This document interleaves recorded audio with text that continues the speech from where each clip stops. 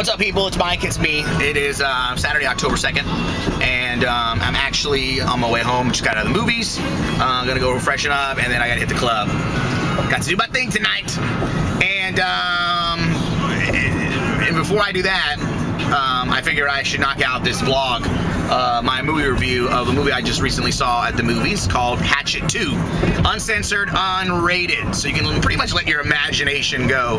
Um, it is definitely gory, uh, times 10, over the top blood, guts, and everything. Uh, I know some of y'all are probably like, I never heard of Hatchet 1, Mike. I know my girlfriend was like, you can go because I never heard of it, and so I don't care. Um, so I had to go see it. And uh, I enjoyed it. It was cool. Um, you know, if you love gore, if you love over the top blood, guts, and creative ways how people get killed by a certain creature monster, this movie is for you. Uh, the acting, I mean, you really don't want to expect too much from it.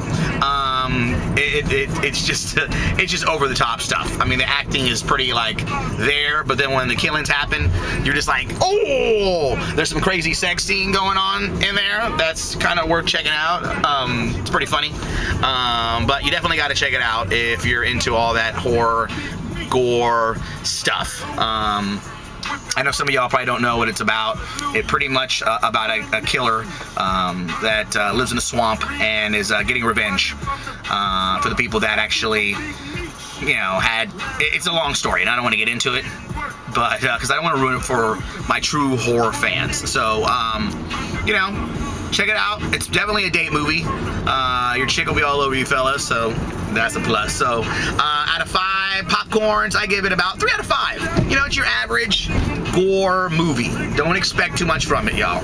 Uh, but it's definitely, uh, you know, it's a fun movie. Cool, so check it out. That was Hatchet 2.